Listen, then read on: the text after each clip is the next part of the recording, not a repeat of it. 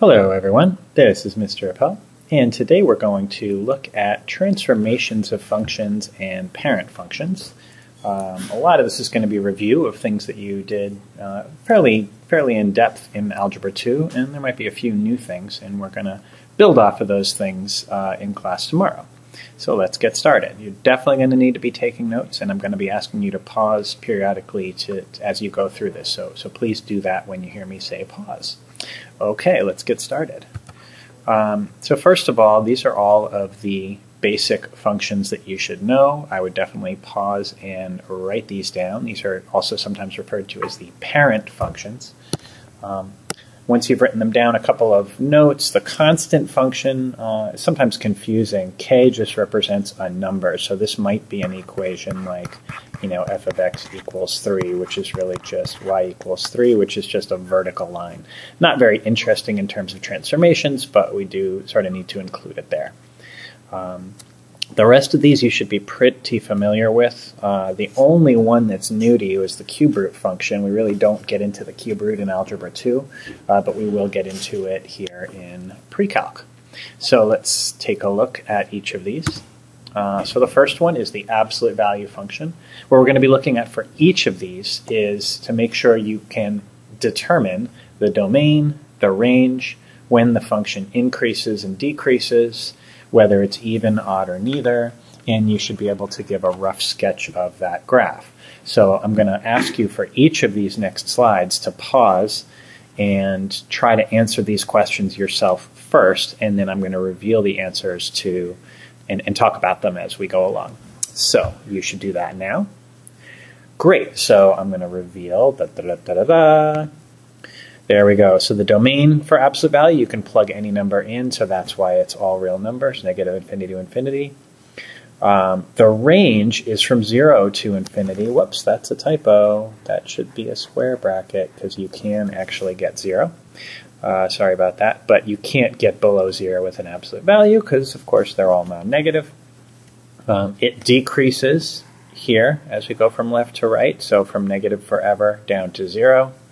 Uh, it increases from 0 to forever, so from 0 to infinity. And this is an even function because it has that nice line of symmetry. It's symmetric about the y-axis. And of course, the sketch looks like a v. So that's your absolute value function. Quadratic. Uh, y equals x squared, f of x equals x squared. Again, pause and try to do all of these. Okay, let's see how you did. Uh, domain for quadratic, again, is all real numbers. You can plug any x in you want, or just looking at the sketch of the graph, you can say that it goes to the left forever and it goes to the right forever, so it's all reals. The range, again, wow, I did the same mistake again. Sorry about that. I have to fix that. That should be a square bracket, because again, you can get zero in the range. You can get an output of zero, so it's from zero to infinity, including zero. Um, the function decreases some very similar to our v on the last one in the absolute value, decreases from uh, negative infinity down to zero, but once it hits zero now it turns around and starts increasing. So your decreases from negative infinity to zero, increases from zero to infinity, and remember those are supposed to be parens because at zero it's neither increasing nor decreasing, so we're not including zero. Uh, that's a local min and an absolute min in this case. Function is even because it's got that vertical line of symmetry, and of course it looks like a u or a parabola. Okay, next. Square root function. Again, try this one yourself, and then I'll reveal. Here we go. That was my really awesome drum roll. See if I did this one right with the domain and range. Uh, looks like I did. Domain, you can include 0 because you can take the square root of 0, but you can't take the square root of a negative. So you notice on the graph, you can see it's not defined left of 0, and of course you can't plug an x in that's less than 0 into this function, so that's why the domain is from 0 to infinity. Range, same thing, your outputs are always non-negative in a square root, so it's 0 to infinity. Decreasing, well if you follow this along, it's not defined over here, and once it is defined, it's going up, up, up, up, up forever. So it's always increasing where it's defined. So it increases from 0 to infinity. It's neither even nor odd. It certainly can't have any symmetry if it's only on one side of the y-axis. Okay, next up, The cubic function, again, try this on your own. I'll spare you the horrible drumroll attempt, but here we go. So the domain for a cubic is all reals. You can cube any number you want. The range is also all reals. It goes down forever and it goes up forever. So that means it has a domain. Uh, sorry, the range is also all real numbers. You can get any number out.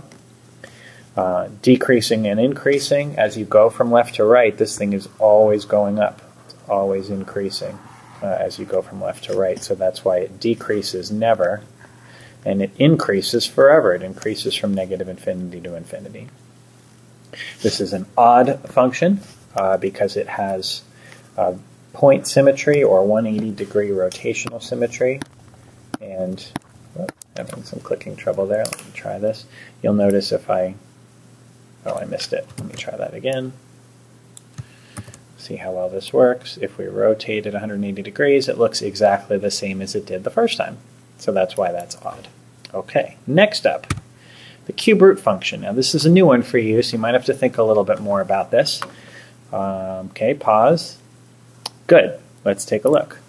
So the domain for a cube root, you can take the cube root of a negative. So you can take the cube root of any number. So that domain is all real numbers, negative infinity to infinity.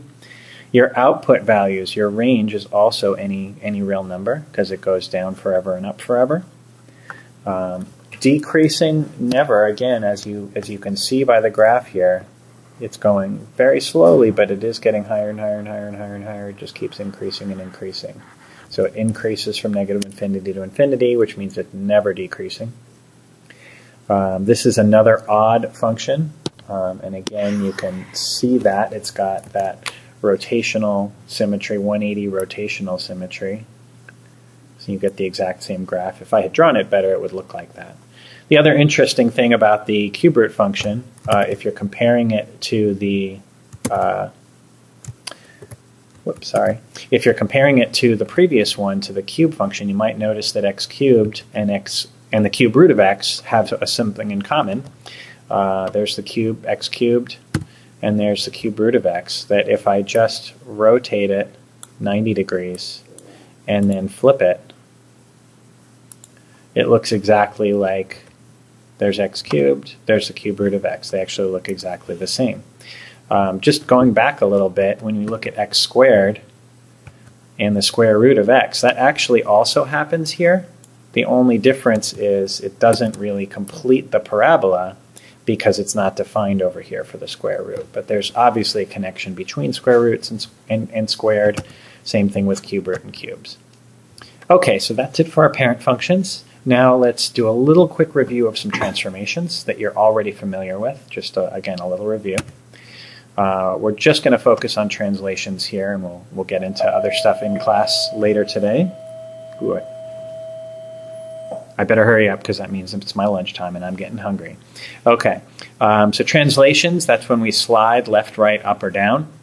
Uh, so we're going to look at what that does in a function. So horizontal translation, that's right or left. And you may remember from Algebra 2 that uh, when the, the x is being changed, right, when the x is being changed, this is the one that was always backwards. If it's minus 3, it actually moves it 3 units to the right. And if it's an x plus 3, it moves 3 units to the left. Um, so in a, in a function, you can see that. And again, it doesn't have to be squared. That's any function. If it's affecting the x. Um, that's left and right. Um, using function notation, um, it's you know the, in function notation, if you subtract something from the x, it's going to move it to the right that many units, and if you add something to the x before you plug it in, it's going to move it that many units to the left. Um, and we'll get a little more into what that looks like in function notation a little later. But just wanted to give you a heads up that that's coming. Um, and then vertical translations up and down, so that's when it, the change is after the squared or the square root or the absolute value or whatever the function is. And this one behaves more the way we'd expect. Plus 3 means it's moving up 3, minus 3 means moving down 3. Um, and in function notation, that is, it's being added afterwards. So in other words, it's not changing the x, it's changing the y. Um, so it's in, you see in function notation, it's not changing the x, it's not what you're changing there, it's being added on after the fact. And that may not totally make sense, but again, we'll, we'll get into that more in class tomorrow. That's all for now. Have a great day.